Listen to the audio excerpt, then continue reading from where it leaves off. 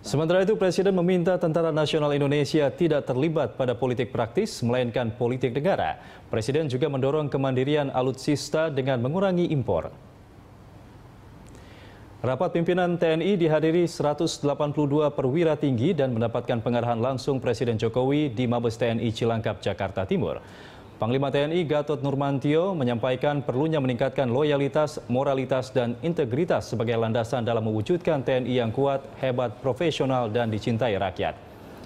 Dalam arahannya, Presiden meminta TNI mendukung kebijakan politik negara dengan segaris lurus pada komando Presiden sebagai Panglima tertinggi TNI.